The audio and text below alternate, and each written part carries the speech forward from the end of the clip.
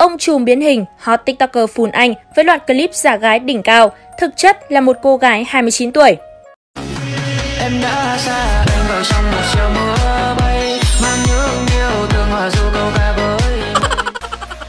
Phùn Anh là một cái tên quen thuộc với giới trẻ và nổi tiếng gần đây nhờ loạt clip biến hình từ một chàng trai xấu xí thành một cô gái xinh đẹp đầy quyến rũ.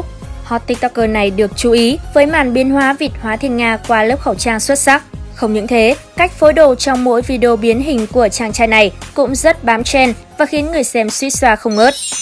Tuy nhiên mới đây, nhiều người chơi hệ top top đã vô cùng ngỡ ngàng khi biết được Phun Anh chẳng phải là một nam sinh như họ vẫn nghĩ trước đây, mà thực chất là một cô gái đã 29 tuổi. Trong một livestream, Phun Anh đã tiết lộ giọng nói thật và chính xác giới tính thật của mình. Theo đó, Phun Anh tên thật là Phun Thị Anh, sinh năm 1993. Đến nay, cô nàng đã 29 tuổi. Oh.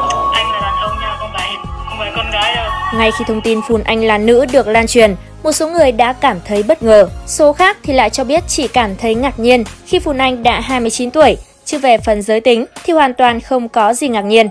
Bởi ai thường xuyên theo dõi live của Phun Anh sẽ nhận ra hot tiktoker này sở hữu chất giọng của một cô gái. Cùng với đó, một số người theo dõi Phun Anh lâu cũng cho biết tiktoker này đã từng thừa nhận bản thân mình là nữ khi có một tài khoản hỏi cô là nam hay nữ. Trước đó, Phun Anh cho biết bản thân mình không có gì ngạc nhiên khi mọi người cho rằng mình là nam, vì bản thân TikToker cũng khá giống con trai. Công việc hàng ngày của Phun Anh chính là làm nông, nên vào thời gian rảnh rỗi, thường hay lướt TikTok. Khi xem những video biến hình của Trung Quốc, Phun Anh cảm thấy rất thú vị nên đã thử quay một vài video và vô tình lên xu hướng.